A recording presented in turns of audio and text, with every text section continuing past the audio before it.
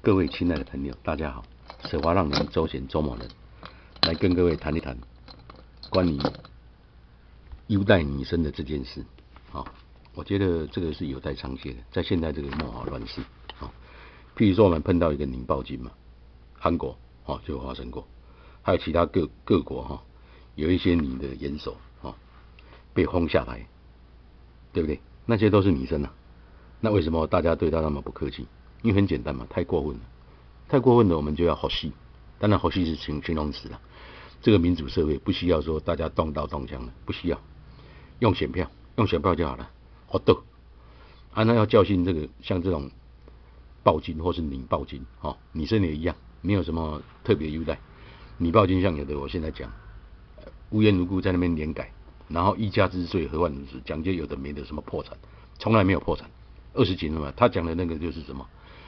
那个破产了，他们说什么钱债负债？什么叫钱债负债啊？你的你的老爸可能活到一百岁，老妈活到一百岁，爷爷奶奶也要照顾啊，小孩子还要送到外国去留学，大概要多少钱？多少钱？啊，这样算当然很贵啊。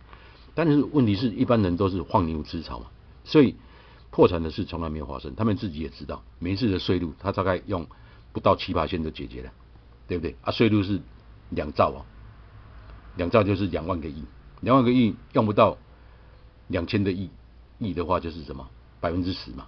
啊，如果你用不到一千个亿的话，哈，再减半，不到五趴嘛，所以年金再加上呼息，根本就一点点钱。啊，在那边讲讲讲，就是一家之罪哈，然后又搞一些什么会死啊、挺通啊，哦，难怪有人觉得说，哎，某某人可能是同性恋，不然他怎么一直挺通，对不对？然后通奸、吸毒、除税化的那些人呢，都当大官，黑机关林立，乱搞空屋、电力不足的问题。交通的问题等等等等，罄竹难书了，不用讲了，反正就是怎么样像孟孟子所讲的，闻事一乎而已，未闻事今也。他指的是那个纣王，对不对？周朝那个纣王就很可恶，当然是男的，要把他干掉。啊，女的一样。我觉得现在这个大家没有什么婚男女，有的女的她怎样？她她这个竟然诈诈领保险金了，为了要诈领保险金，干掉自己的配偶，干掉自己的伯伯，干掉自己的妈妈，甚至自己的小孩。